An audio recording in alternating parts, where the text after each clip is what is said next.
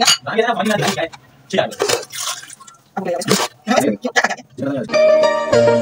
है बिस्मिल्लाहिर्रहमानिर्रहीम। अस्सलाम वालेकुम हेलो एवरीवन, क्या हाल चाल है? उम्मीद करती हूँ कि आप सब बिल्कुल खैरियत से होंगे अल्हम्दुलिल्लाह, मैं भी बिल्कुल ठीक ठाक हूँ। अभी मैं गोश्त की कटिंग कर रही हूँ और आज मैं जस्ट आप लोगों से रेसिपी शेयर करूँगी और कोई भी एक्स्ट्रा व्लॉग मैंने आज शूट नहीं किया। छोटा सा मुन्ना चुना सा हमारा आज का व्लॉग है और बहुत ही मज़ेदार सी रेसिपी आज मैं शेयर करने वाली हूँ। मैंने बीफ निकाला था और ये बीफ जो है हड्डी के साथ मिक्स था तो इसमें से मैंने क्या किया कि बोटियों को अलग कर लिया और ये बिल्कुल जमे में थे। तो कट बहुत आसानी से होगा। इसे मैंने छोटे छोटे पीसेस में कट किया। आप लोग देख सकते हैं।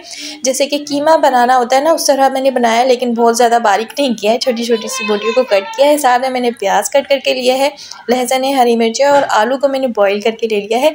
आप लोग देख सकते हैं, इसमें से ना धुआँ निकल रहा है तो मतलब मैंने अभी बॉयल किया है। साथ में अदरक, लहसुन है, चावल है, पुदीना है। तो चलिए फिर इसकी रेसिपी स्टार्ट करते हैं। बहुत ही मज़ेदार सी रेसिपी होने वाली है।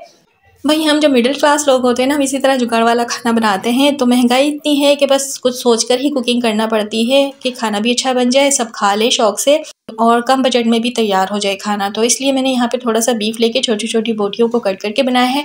आप बीफ के साथ भी बना सकते हैं जस्ट इसी तरह रेसिपी को फॉलो करके। बीफ की कटिंग करने के बाद उसको अच्छे से मैंने धो लिया था। उसके बाद मैंने यहाँ पे कुकर लिया है। कुकर में क्या होगा कि जल्दी से ये गल जाएँगे और बहुत ही जल्दी हमारा खाना बनकर तैयार हो जाएगा। बीफ डाल दिया मैंने, प्याज जो कट करके रखे थे, वो दो मीडियम साइज़ के प्याज थे, वो मैंने डाल दिया। आपने रफली कट करके भी डाल देना। इसमें मैंने स्लाइस में कट करके डाला है। चार हरी मिर्चों को दो हिस्से में कट करके डाल दिया है। साथ में मैंने थोड़ा सा लहसन भी डाल दिया। इससे फ्लेवर बहुत अच्छे हो जाते हैं। पानी डाल दिया, उसके बाद मिक्स किया और नमक भी डाल दिया जायके के मुताबिक। फिर कुकर का टेट लगाकर पंद्रह मिनट के लिए मैंने बीफ को गला लिया। पंद्रह मिनट मैंने इसलिए गलाया है कि बुढ़ियाँ जो इसकी बहुत छोटी छोटी है जल्दी गल गए ये। मेरी ब्लॉग मेरा की आवाज़ नहीं है ऐसा मुमकिन हो ही नहीं सकता। मेरा को चुप कराना एक बहुत बड़ा मुश्किल काम है, जो कि हो नहीं सकता। खैर, बीफ गल गए, कुकर अभी मैंने साइड में रख दिया है। एक पतीला मैंने चूल्हे पर चलाया उसमें ऑयल डाल दिया। ऑयल मैंने इतना ही डाला है जितने भी में रेसिपी बनकर तैयार हो जाएगी। मतलब हमारे चावल बनकर तैयार हो जाएँगे और इसमें मैंने बॉयल आलू डाल दिया है। बॉयल आलू डालने के बाद मैंने क्या किया, उसी ट्रिक्स को इस्तेमाल किया है कि आलू पतीले में चिपके नहीं, जैसे कि ऊपर से मैंने नमक जो है स्प्रिंकल कर दिया था और आप लोग देख सकते हैं, आलू मज़े के फ्राई हो चुके हैं और चिपके भी नहीं है पतीले के अंदर। ये ट्रिक्स आप लोग भी कर सकते हैं। जब भी कोई चीज़ कढ़ाई में या फिर पतीले में फ्राई करने के लिए डालें, उसके बाद नमक डाल दें। अच्छा आलू फ्राई हो गए थे, फिर उसके बाद मैंने क्या किया, इसी ऑयल में लहसुन अदरक का पेस्ट शामिल कर दिया है। लहसुन अदरक की क्वान्टिटी कितनी होगी? दो चम्मच, ठीक है? थोड़ा देर सोते करना है इसे।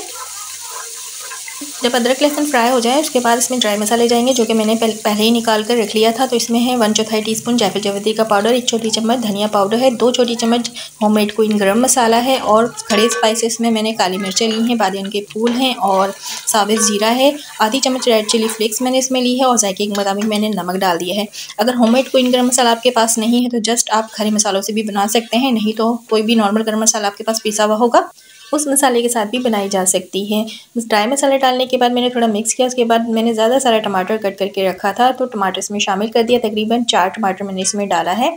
थोड़ी देर मैंने मिक्स किया टमाटर डालने के बाद, फिर उसके बाद जो बीफ गला रखा था तो सारा बीफ अभी निकाल कर मैं मसालों में शामिल कर रही हूँ और कुकर में ना यखनी बन गई है मतलब थोड़ा स्टॉक बच गया है तो स्टॉक को आपने डिस्कार्ड नहीं करना। जब हम चावल डालेंगे तो उसमें पानी बैलेंस करते हुए इस यखनी का यूज़ कर लेंगे अभी बीफ डालने के बाद थोड़ा इसकी अच्छे से बुनाई करनी है।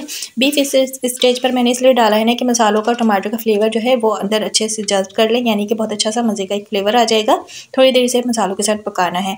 यहाँ पर क्या किया मैंने, हरी मिर्चों को कट करके भी आप शामिल कर सकते हैं बट मैंने क्या किया है, दस हरी मिर्चों को इस तरह चॉप कर लिया और शामिल कर दिया इससे फ्लेवर बहुत मज़े का हो जाता है। वैसे इस तरह के पुलाव में क्या होता है कि हरी मिर्चों ही डालकर बनाई जाती है। रेड चिली फ्लेक्स या इसी मिर्च का इस्तेमाल कम किया जाता है। अगर आप करना चाहते हैं तो बेशक कर सकते हैं बट हरी मिर्चों से ज़्यादा टेस्टी बनते हैं। अच्छे से मिक्स करने के बाद दो चम्मच इसमें मैंने दही का डाल दिया है। दही से और फ्लेवर अच्छा हो जाएगा। अगर आपके पास दही नहीं तो बेशक स्किप की जा सकती है। और साबित हरी मिर्चें भी मैंने डाल दी हैं छः सात। उसके बाद स्टॉक मैंने इसमें शामिल कर दिया क्योंकि बीफ अच्छे से भुन चुका था, टमाटर भी इसमें अच्छे से घुल मिल गया था। स्टॉक मैंने इतना ही इसमें डाला है अभी, जैसे कि अगर मैंने तीन प्याली राइस लिया है तो दो प्याली स्टॉक था।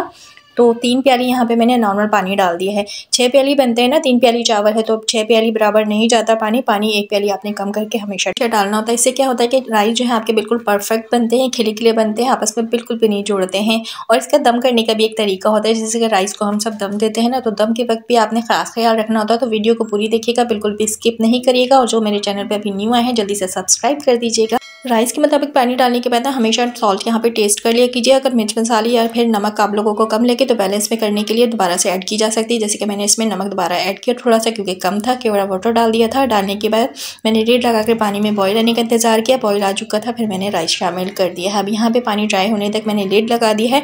तो पानी मुकम्मल ड्राई नहीं हुआ है। अभी यहाँ पे दम देना ज़रूरी है। थोड़ा सा अभी पहले मिक्स करेंगे, उससे पहले मैंने इसमें थोड़ा सा पुदीना कट करके डाल दिया है।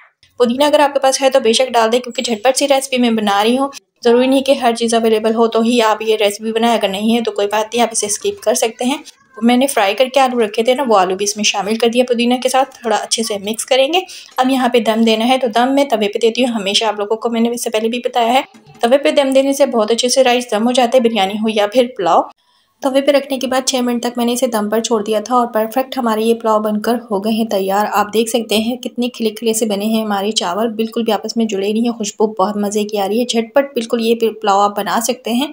बहुत ज़्यादा टाइम नहीं लगता है, ना ही कि बहुत ज़्यादा मसाले लगते हैं। सारे मसाले घर में अवेलेबल होते हैं। आप आसानी से ये पुलाव को तैयार कर सकते हो और अगर अचानक मेहमान आ जाए, जब आप ये रेसिपी बना रहे हो तो इस रेसिपी को आप मेहमानों के सामने भी पेश कर सकते हैं।